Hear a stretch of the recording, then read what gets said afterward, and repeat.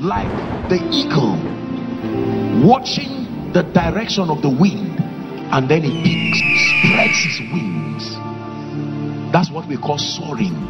It does not fly, the eagle soars. Now, this year, I can spend the whole day dealing with this. And forgive us our debts as we forgive our debtors. The revelation here is a very complex revelation. The revelation is not God yet. The revelation is first you that every man is a debtor. Listen, forgive me my debt by bringing me into the awareness that the same reason why you need to forgive me is the same reason why I need to forgive others. My inability to help myself. Are we together now? This here is a revelation that number one, all men are humans. We're empowered, we're humans, we're empowered by the spirit, but that men are frail and they grow weary. Listen, the understanding that we are debtors alone will make you to never be surprised at the disappointment, the betrayal. You know, sometimes we act as though you did this. No, the understanding that all men are weak, all men are frail, will take away the heartbreak that comes from the disappointment. Jesus is teaching you here. He is saying, maintain a posture where you are not surprised at the behavior of people. That you can raise a child today and he can look at you tomorrow and act like you never invested in his life. He's saving you heart attack. He's saving you stress. He's keeping you healthy by giving you this revelation. Forgive our debt as we forgive. That means that captured in our understanding of prayer we must know that we are dealing with a realm and a system where men are frail just like we ourselves. So when we approach god and say lord you can see this again the bible says he knows we are dust. The spirit of god was put in us but in our frame we are dust. The best of every man is still a man. We are only men helped by god that means in dealing with god perfection is not required. It is sincerity and brokenness. Perfection is exhausting and unnecessary. No man with in the long run sustains the ability to be flawless enough to meet the standard of God. Your humanity will be revealed in greed in lust in pride in pain. Are we together you come from a family where you were struggling growing up now you become a millionaire or a billionaire that tendency to prove a point to someone who trivialize you one day will crop up so he's teaching us here. This is not about forgiveness. This is about an understanding that we are frail. Are we together? Let me tell you this. The happiest and the most peaceful people on earth are those who know that all men are men. So while they tell you, Jesus, come and become king because you turned five loaves and two fish, to feed 5,000 people. Jesus is also aware that one day they will say, Crucify him. So the day they said it, he stood there and he didn't look at them and say, Father, let fire come from heaven and consume them because he was aware that they were all men. The same Peter who looked at him and said, No, no, no, no, I love you so much. You are, I will not even allow you wash my feet. Was the same person who argued before a young lady, calling her woman to betray and deny Jesus. Now is the same Peter, three days later, who looks at Jesus and comes to him and says, Ah, I'm a sinner. And Jesus said, That's not the issue, Peter. Let's go and eat. Simon Barjona, lovest thou me more than this? He didn't even discuss the issue. He will not suffer my foot to be moved. I carry your presence everywhere. Who am I? Your mind is so full of me, mortal man, awesome God, mortal man. I'm just a, but you are the awesome God, mortal man. Listen, it's not a revelation to negate the fact that you've been exalted with Christ. It's a description of the tendency that comes by reason of wearing this body. That this body has tendencies that you better be aware of before it surprises you. And so, in dealing with people, don't be surprised if they try to cheat you. In dealing with people, don't be surprised when a Christian brother tries to defraud you. It is a reality, it's a tendency that outside of the assistance of the Spirit will happen over time. Forgive us our debts. So, when you see great people keep quiet, even when they have the power to respond, it's not weakness, it's an understanding. There is superior knowledge. Are we together now? Yes. Listen, let me tell that's why I said we can dwell here all day because it's a very powerful thing. You must maintain an allowance for the humanity of men. This is the revelation Jesus is giving us that to be effective in prayer, you must approach God even whilst you trust that He continues to grant you access to His mercy. You must likewise the Bible in Matthew chapter 18. Oh dear, I have just about 10 minutes and we have to wrap up. Matthew 18, but let's look at it very quickly. Matthew chapter 18 from verse 21 is a long reading. We'll not go into all the reading. I'll just pick out a few things. Now, Peter came and was speaking to him about the subject of forgiveness. Are we together? He says, Lord, how oft shall my brother sin against me and I forgive him? Till 70 times?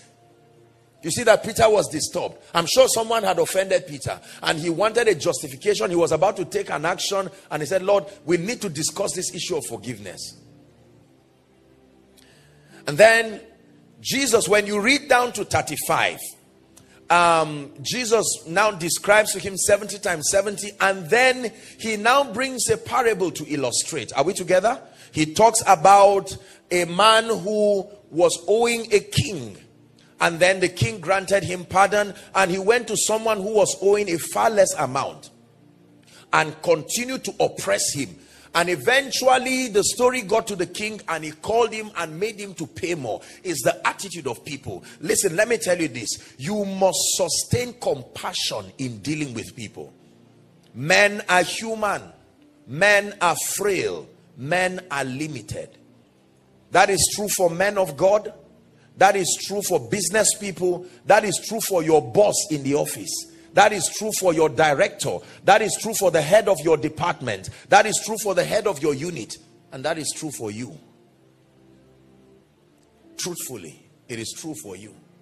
It's amazing the audacity we have. Did you know that so many people on earth do not even have the spiritual and the moral credence we live in a generation where everybody is correcting everybody. Everybody is correcting every man of God. Everybody is correcting every businessman. It's as though that's all that happens. Everybody wants to show who is wrong. Ace, we are all men. It's a revelation that we must find a way of convincing ourselves before we make a mess of ourselves before the world. Our humanity is not an embarrassment, it's an advantage. It brings glory to God. So when we, you see an ordinary man producing results that only God can produce. Then Galatians 1:24 becomes a reality and they glorified God in me. Are you understanding the prayer of Jesus now? Forgive us our debts. Forgive us our debts. Every time you do not give allowance for the humanity of men you are sowing seeds whose harvest will catch up with you. Because in time every one of us will have an opportunity to watch our humanity find expression. And that includes jesus. Watch this. Jesus is god the logos of god. Now he's come in the flesh and jesus is hungry and he stands before a fig tree. Remember patience is the fruit of the spirit. And remember jesus is full of the spirit and he stands before a tree, terribly hungry as a man, and there's no fig. What did he do? Ah, Jesus, where did you keep your patience? Dear Jesus, where did you keep? I mean, King of Kings, the fruit of the Spirit. Couldn't you at least give the tree a chance? No man eat of you again. Number two, he enters a temple and he sees people doing business. Where did he keep his compassion? Why didn't he politely report as a very good citizen of Rome? He took a whip and flogged every one of them. And after flogging them, he said, Oh, sorry, it's just my temper. I said, No, no, no, no, no. I'm still not apologetic. My house shall be called a house. I mean, you love Jesus only because he's in heaven now. If you were on earth and you were.